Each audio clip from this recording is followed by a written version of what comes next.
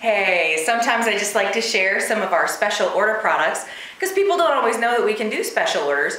This particular piece is a special order tassel tallit and so it has, this is in the Divine Authority um, style and it has a, uh, a uh, excuse me, an embroidered ribbon that has been added here that just gives this lovely finished piece so that that's the part that rests on your head if you're using this as a prayer covering.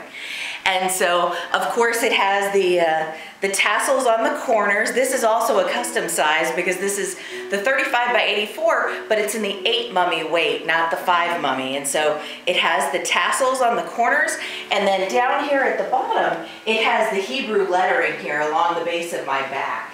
So anyway, this is a gorgeous special order piece. The father actually showed this person, the recipient, this piece in a dream. So it's just so cool how the father works. He gives the pieces that he wants to each of us. And so sometimes he gives you guys, you guys the pieces and then we get to go create that. So anyway, just wanted to share this with you.